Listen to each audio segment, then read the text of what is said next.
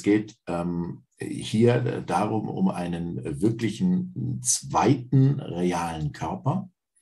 Dieser zweite reale Körper ähm, ist also wirklich physisch auch zum Anfassen. Ich sehe auch völlig anders aus. Also die Statur ist wesentlich schmaler als meine jetzige. Ähm, ich bin auch etwas kleiner, also maximal 1,70 groß.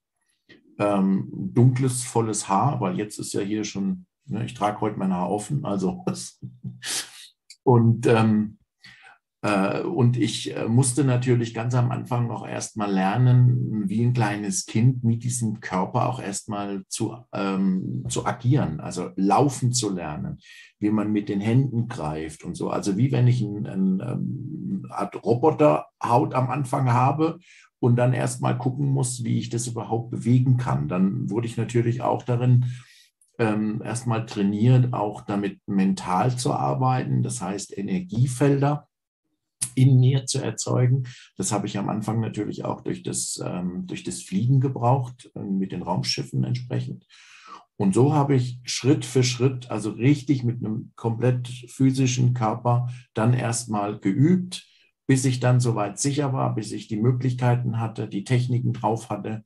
Und dann erst wurde ich sozusagen freigelassen. Also da wurde ich dann erst auf, als Pilot ausgebildet und dann kamen die anderen Ausbildungen weiter Stück für Stück aber ich habe einen wirklich zweiten realen physischen Körper, keinen Klonkörper. Also im Vergleich dazu, um das äh, begrifflich nochmal zu definieren, ein Klonkörper wäre ja ein identischer Körper, nicht? Es wäre ein Duplikat deines jetzigen Körpers, der genauso aussieht. Und äh, ist denn die Persönlichkeit, jetzt unabhängig vom Äußeren, die Persönlichkeit dieses anderen Körpers, der hat ja auch einen anderen Namen, der heißt ja Aschan, nicht? Diese Persönlichkeit von dem anderen Körper, ist die dann auch, ist die dann genauso wie du? Ist das eine geklonte Persönlichkeit? Ähm, ich habe ja zwei Silberschnüre und natürlich hat er schon auch eine eigene, ich sag mal, eine eigene Charaktere. Und ähm, aber ich bin mit ihm direkt verbunden. Das heißt, ich kann jederzeit mich zuschalten, aber er ist eigenständig. Also er tut die Dinge eigenständig, er handelt eigenständig, er denkt eigenständig. Also das ist alles einzeln. Wie wenn du sagen würdest, du würdest praktisch eine zweite Inkarnation vornehmen, die jetzt praktisch da parallel läuft. So kann man es vielleicht eher beschreiben. Also Hat wie wenn ich zweimal inkarniert wäre sozusagen. Okay, das heißt, das ist schon eine, also wenn ich jetzt den Begriff Persönlichkeit nehme, mit Persönlichkeit meine ich die Art zu denken, die Art zu fühlen, die Art zu sprechen, die Art irgendwie Dinge wahrzunehmen, die ist dann schon irgendwo auch anders als die Dirk, die, der Dirk, der jetzt hier auf der, auf der Erde ist, oder? Ja, das schon, weil die Umgebung natürlich auch eine völlig andere ist. Die, ähm, ich sag mal, wir sind natürlich, also wenn ich, wenn ich auch mich immer wieder zuschalte, ähm, ist es natürlich eine viel höhere Liebesenergie, die ich um mich herum habe, als jetzt hier zum Beispiel auf der Erde.